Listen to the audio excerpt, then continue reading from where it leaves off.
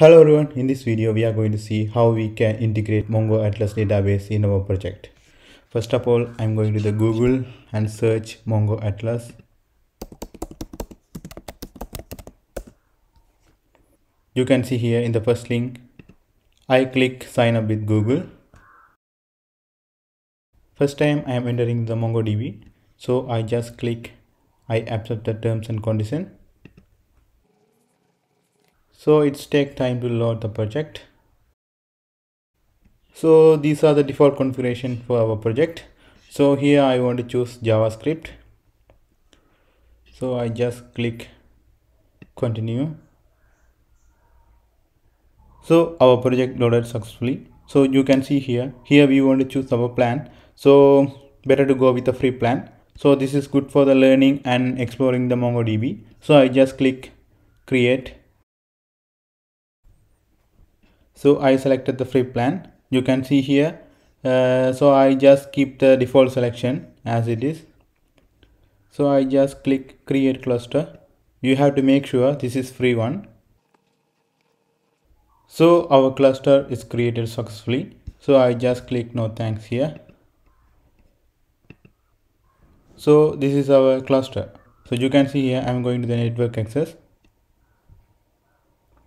Here I just click add IP address. You can see there are default two options here.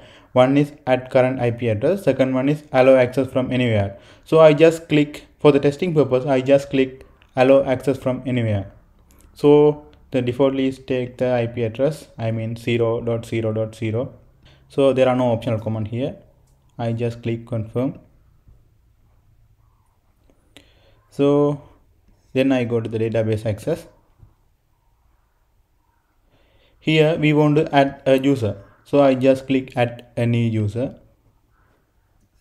So I just create a user called uh, programming makes sense. That's called PMS our YouTube channel name. And password is I just click auto generate secure password. So and copy this one. And read and write to any database. That's fine then I click add user. So we create a user successfully. So I again go to the database. So our cluster still creating. It's take time. So you can see here the message showing your cluster is being created. So I just click a new tab and search mongoose. Npm mongoose npm so there are one option. The first link i click the first link mongoose npm you can see here this is mongoose so in order to use the mongo atlas database in our project we have to use this mongoose npm package manager. So i what i'm going to do is i just go to the bottom and copy this one and go to my project npm install mongoose. I just hit enter. So mongoose installed successfully.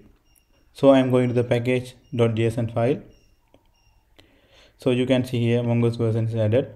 So you may guys wondering so before this in the last four tutorial we never see these kind of icons. So I, what i did is like i just go to that extension and i install some plugins here. So if you want you can install these plugins. So it's after you install successfully the icons will change. That's uh, nothing related to coding. So i'm going to the app.js file. So i'm going to run the server. In order to use the mongo database we have to add the mongoose here. So i just enter here the number line number four. And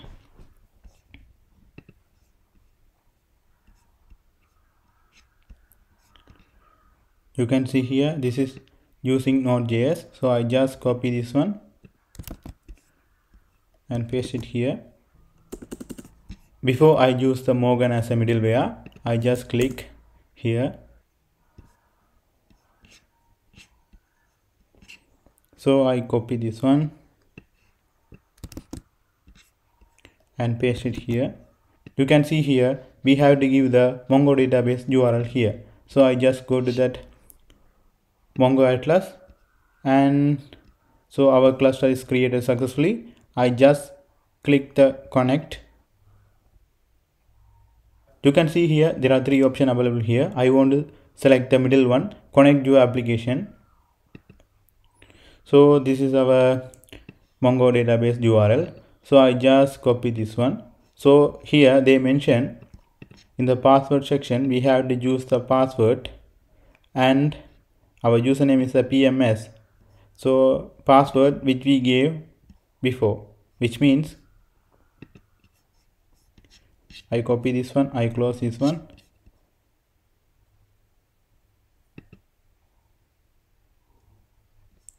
This user password. So i just again go to that our project and paste the url here so here we want to replace this password with our user password. So i just click edit. And here i want to choose edit password and auto generated secure password. I just copy and update user. So I am again go to that project and select this password option and paste it so we successfully paste our password here but if you go to the production we have to keep all our you know config file in a separate folder or separate file so as of now I just keep it with my coding in future, I will going to change this credential config file into separate file.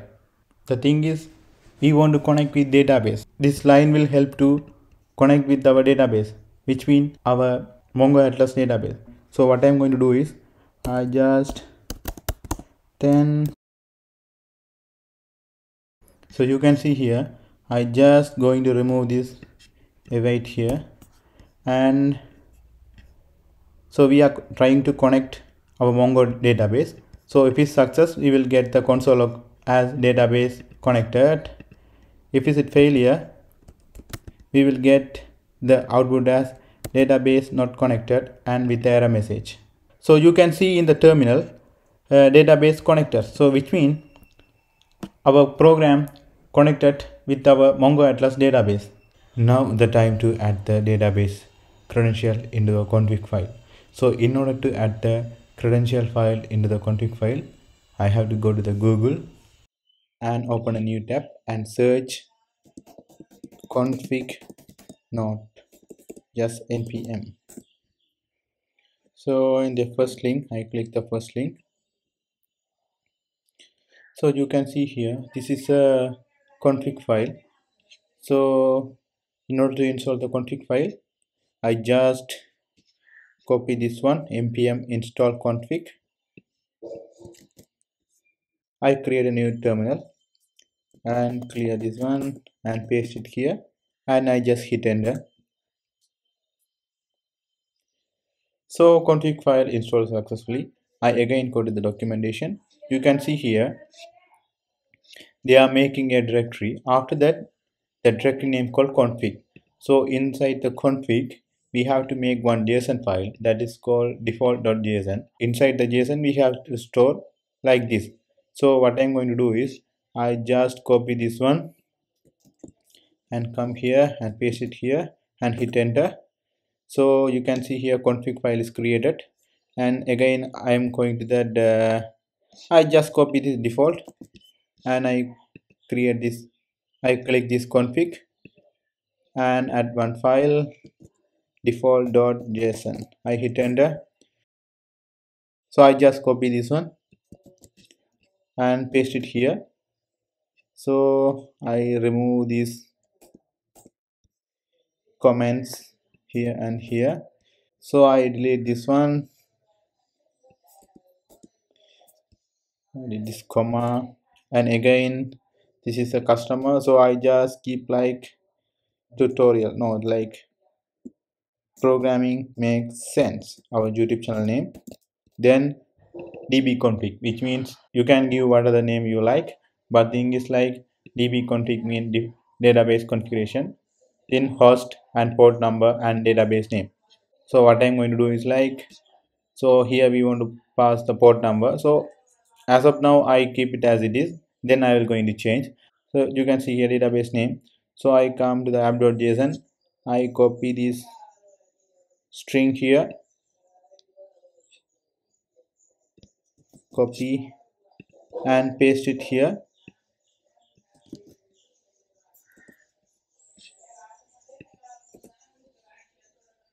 so that's fine. So i delete this one. So here we have to call the default json pms dbconfig db name. So we have to call the db name here. So use config in your code. So this is a way we have to import the config file. I just copy and hit enter and paste it here. So then const db config i copy this one and paste over here. So you can see here customer.db config. So the thing is like in our case this is not a customer. This is pms db config. So i'm going to that here. I just type pms so pms db config. So which means pms this one and db config. So inside that we have to use the db name. So i just click db name. So uh, name is capital. So i just copy and paste it here. So db config. I just copy this one and paste it here. So that's fine so now i close this bash and see again we got the output as database connected.